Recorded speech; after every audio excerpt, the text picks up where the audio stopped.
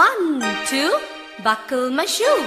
Three, four, shut the door. Five, six, pick up the sticks. Seven, eight, lay them straight.